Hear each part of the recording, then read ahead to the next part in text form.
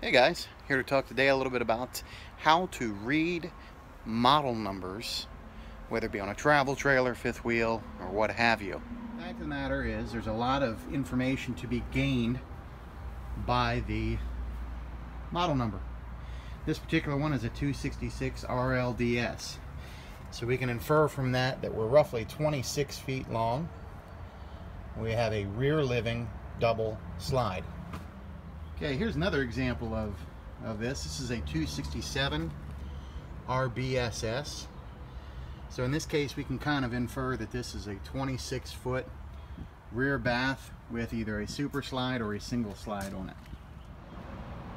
So I've had manufacturers confirm and deny that the model numbers mean absolutely nothing, okay?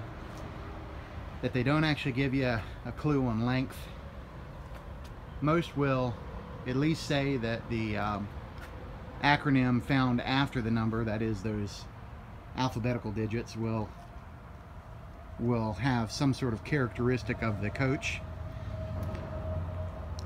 But most of them will tell you that as far as the size of the box goes, this one right here is a 243 RBS. That's going to be a 24 foot rear bath with a slide, okay? That is either going to be from the rear corner to where the roof line is ends okay and drop straight down or it's going to be from the rear corner to the front the absolute front of the coach. Now of course to achieve your overall length you're going to add a foot on the rear approximately for the bumper and you're going to add about three feet on the front for the tongue. This one right here is another example of a strange model number 279 RLSS. That basically means it's a 27 footer, rear living with a super slide or a single slide. So obviously in here you see the rear living quarters, okay? Hence the acronym there, RLSS, okay? The model numbers generally tend to hold true for fifth wheels as well, okay? So in this situation, this is a 365 SAQB. Incidentally, this is the model we own, okay? It's approximately a 36 foot side aisle quad bunk. Now here's where this gets interesting. This actual coach right here is just shy of 42 feet long.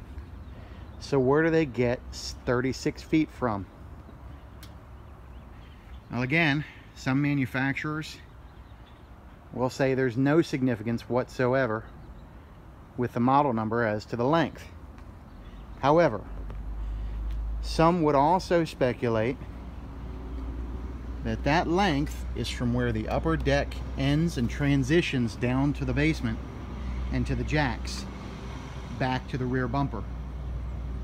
That on this coach is just about 36 feet. So your additional length is found in the upper deck to the end of the nose cone, which is still living space, giving you that extra 40, 40 their total 42 feet in length. A couple more examples here of the differences in model numbers. Again, looking at a fifth wheel. This is a 379 FLOK. This particular one means it's approximately a 37 foot front living outdoor kitchen. Again, where you really have to be careful is the legitimacy of those numbers as to the length of the unit. Most of that will not include overall or total length. Okay, so since we're talking about uh, model numbers here. I'm going to give you another one.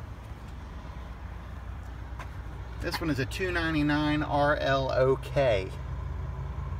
It's kind of an odd one. But if we inspect the unit a little bit, we'll find that it's approximately a 30 foot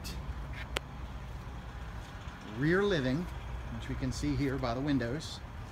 Because we know that it's generally true that to get those windows in the rear of the coach, you need to be in a uh, in a rear living model, okay? But this one also has an outdoor kitchen. Okay, now every manufacturer does this differently, but for this particular model number, we can infer that this is a rear living outdoor kitchen. Now there's always going to be exceptions to the rules, right? So this particular model here is a 3850. That says nothing about the actual coach itself, um, the floor plan layout or anything like that. Here's another one just the same, 3875. Thanks so much for watching. I do hope that was a helpful bit of insight into model numbers. Of course, there are exceptions to the rule, um, but hopefully that'll be a little bit of help as you um, see them going down the road or see them in different displays uh, for sale online. You can at least gain a little insight into the floor plan uh, that you're looking at. If you have any questions, uh, leave us a comment, shoot me a message. I'll be more than happy to help. Thanks so much.